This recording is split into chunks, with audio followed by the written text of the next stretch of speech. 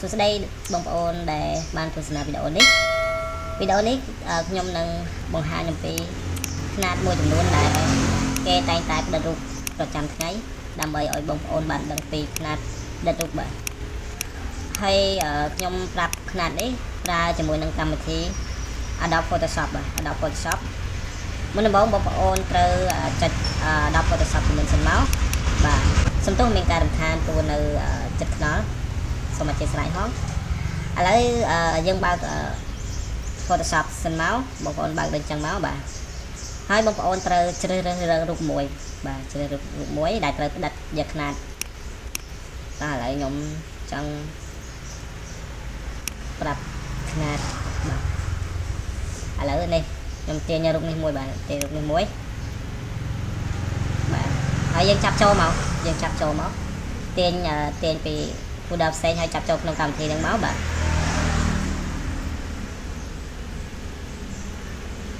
ណាដេកខ្មៅបន្តិចបាទហើយខ្ញុំកន្លងខើវាតិចសិនហើយសបាទដេកខ្មៅខ្មៅណាស់ព្រោះកត់ងឹតនៅក្នុងបន្ទប់ចឹងងឹត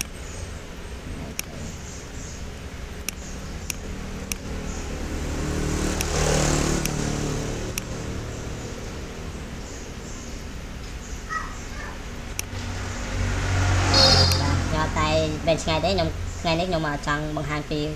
ຂະຫນាតនៃអឺដើម្បី print ចេញជាមួយនឹង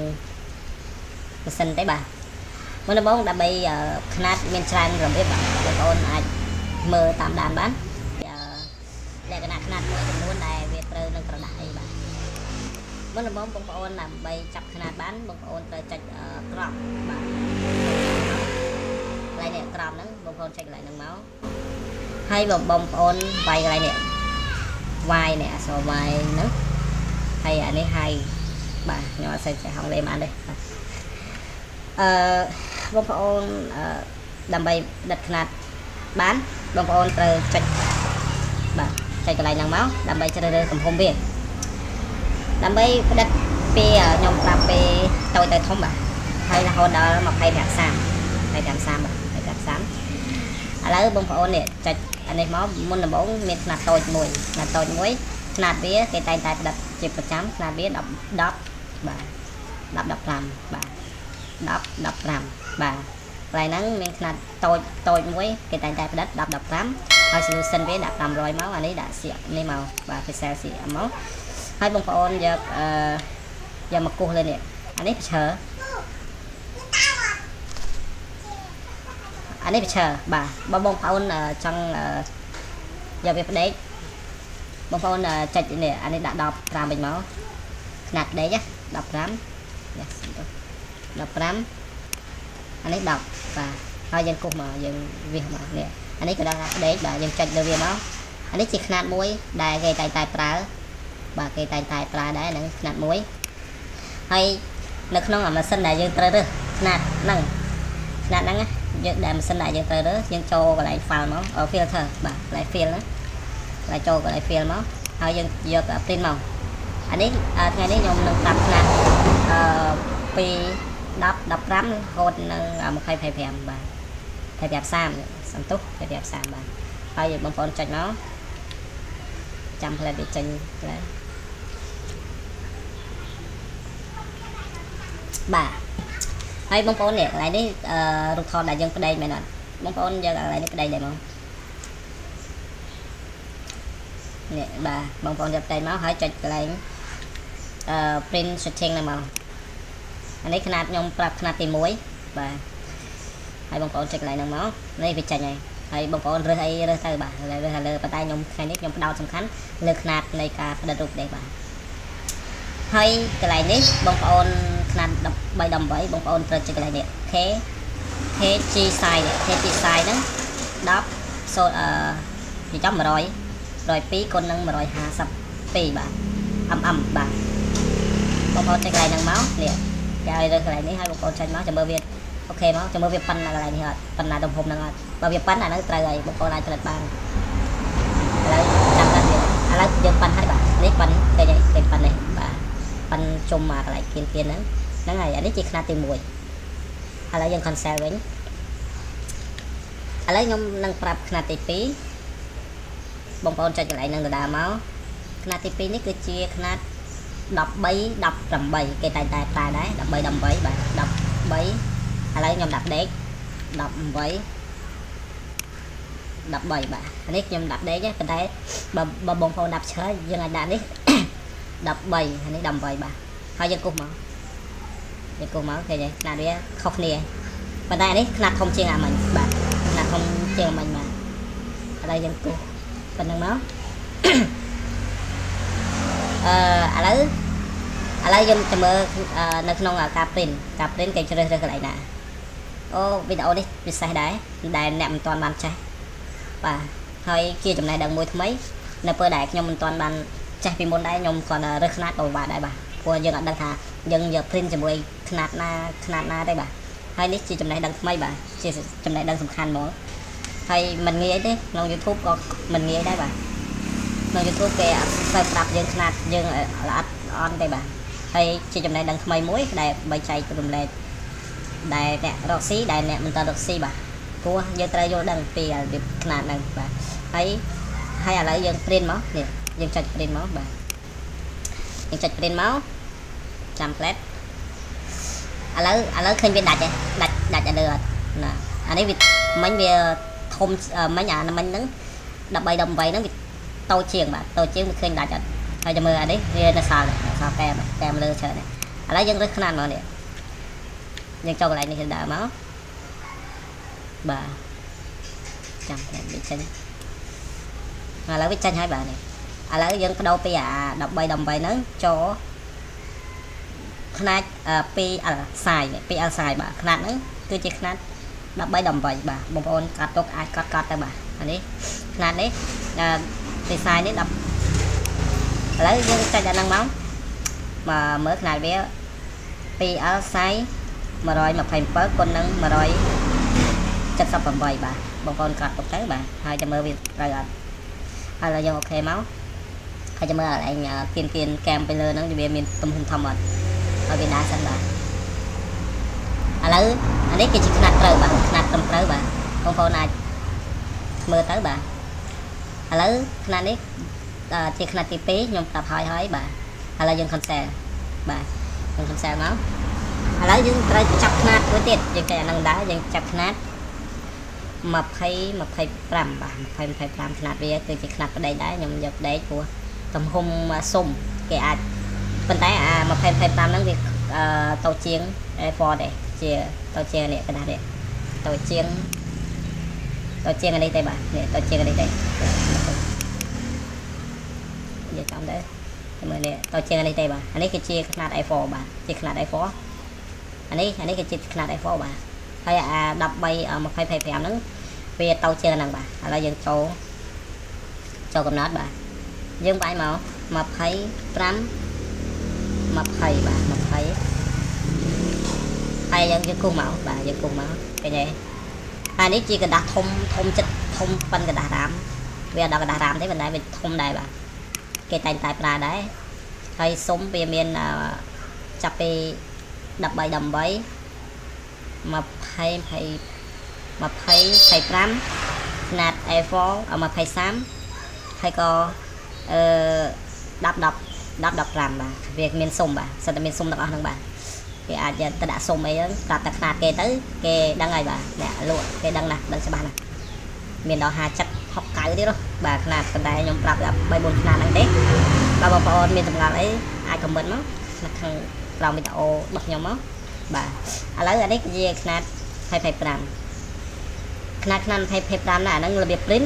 មិនបាទឥឡូវយើងចូលនេះមក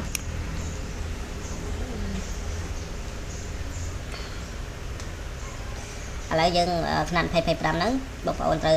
ចំណាំបណ្ដែខ្ញុំតែងតែប្រើក៏គេមានគេថាអ្នកផ្សេងទេគេប្រើរបៀបម៉េចខ្ញុំមិនដឹងទេប៉ុន្តែខ្ញុំប្រាប់ពីរបៀប print នៅថ្នាក់25ហ្នឹងបាទយើងចូល setting មក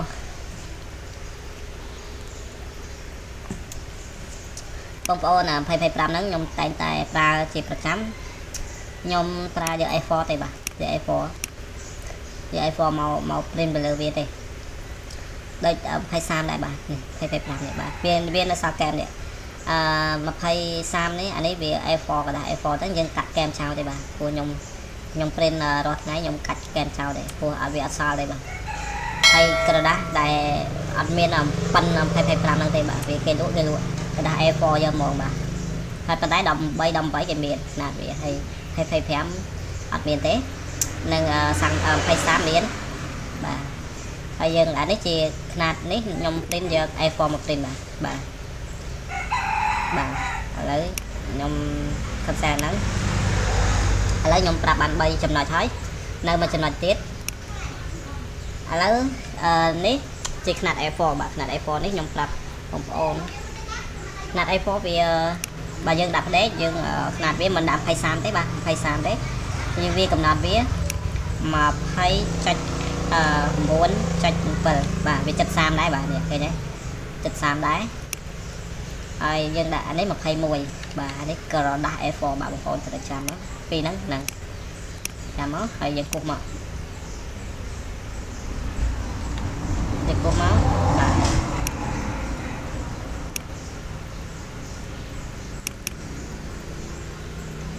បាទ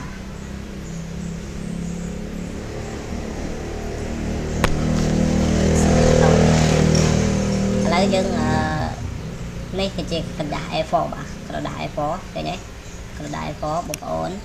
លេងមកបាទលេងមកហើយបងប្អូនយក A4 មក A4 នេះត្រូវឃើញទេត្រូវកែមគេអាហ្នឹងក្រដាស់ A4 ហើយបាទនេះ20មកនេះ A4 20 210គុណនឹងអឺ210ហ្នឹងយើងដាក់21នោះបាទ21ហើយអានេះ 297បាទវា73ដែរបាទហើយយើងដាក់ហ្នឹងមកបាទ23គេហៅ23 23នៅពេញអញ្ចឹងញ៉ាំ30នឹងធំជាង A4 បាទ25 30គេដាក់មក25យើងដាក់នេះមកនេះយើងកែដាក់ហ្នឹងមកបាទ25 30ឃើញទេឃើញកាត់ទេហើយបាទនេះ25 30អានេះម៉ាស៊ីនដែល A3 យើងអាច print បានបាទ A3 បើគ្នឹង ម៉ាស៊ីន A4 យើងមិនអាចព្រីនបានទេព្រោះវាតូចជាងជាងក្រដាស់បាទជាងក្រដាស់អឺ25%នេះយើងអាចព្រីនជាមួយនឹងម៉ាស៊ីន A3 បានបាទ A3 បណ្ដៃខ្នាតខ្នាតខ្នាតវាធំជាង A4 បាទបើម៉ាស៊ីន A4 យើងព្រីន25 30អត់បានទេបាទសូមសូមចំណាំផងបាទបងប្អូនត្រូវចំណាំវាវាមិនអាចយកกระดาษធំមកព្រីនតាមម៉ាស៊ីនតូចបានទេបាទអានេះគឺដាក់ធំជាង A4 បាទហើយ ម៉ាស៊ីនខ្ញុំមានតែ A4 ទេនឹង slow ឯង slow បន្តិចហើយចាំមើលខ្ញុំចាប់ຂະຫນាត A4 ឲ្យមើលចាំតែមើលវាប៉ុណ្ណាទៅបាទវាធំប៉ុណ្ណាវានឹងដាច់វានឹងដាច់កែមដាច់កែមដាច់ជួនកាលដាច់សក់អីចឹងទៅហើយឥឡូវខ្ញុំចាប់ຂະຫນាត A4 ឲ្យមើលសិនបាទ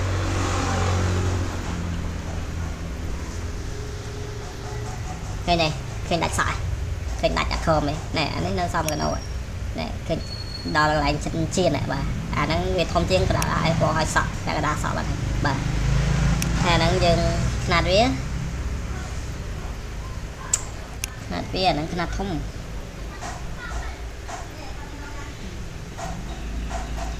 អាហ្នឹងចូល S3 ហើយ bây giờ ACD màu នេះតយើងយកកណ្ដាល ACD មកដាក់លើហ្នឹងប្រហែលជាកំណត់ size ទំហំវា20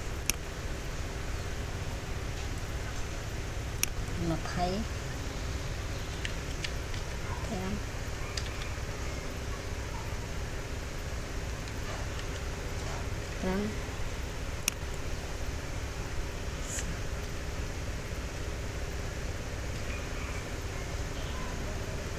57មីលីម៉ែត្រនេះ20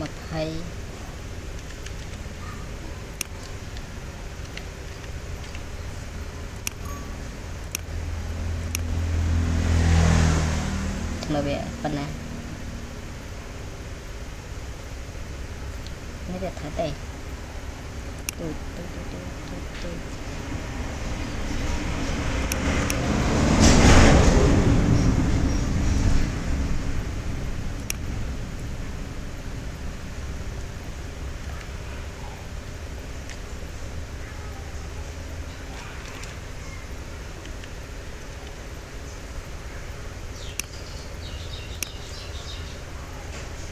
បងនេះលើសຂនាតវាតែអញ្ចឹងវាអត់ឲ្យទេបានម៉ាស៊ីនគេធំទេបាទអានេះអញ្ចឹងយក S3 មក S3 ធំហើយអានេះវាអត់មានម៉ាស៊ីន X3 ទេអញ្ចឹងយើងវាតូចណាស់ S3 ម៉ាស៊ីននេះបានកំណត់នៅក្នុងអឺ ម៉ាស៊ីន S3 ទេបាទអានេះម៉ាស៊ីនហ្នឹងនេះម៉ាស៊ីន S3 នេះប៉ុណ្ណេះអូកាត់កែរបស់វាប៉ុន្តែគេមានខ្នាតគេមានសិនគេមានលក្ខណៈគេនៅម៉ាស៊ីនធំបាទហ្នឹងហើយវីដេអូហ្នឹងមានតែប៉ុណ្ណឹងហើយបងប្អូនមានងល់អ្វីខ្លះសូម comment ហើយ subscribe ទៅ channel របស់ខ្ញុំផងដើម្បីបានចំណេះដឹងថ្មីថ្មីជាមួយនឹងអឺដែលខ្ញុំវីដេអូខ្ញុំអាប់ឡូតជារៀងរាល់ថ្ងៃបាទសូមអរគុណសូមជម្រាបលាបាទ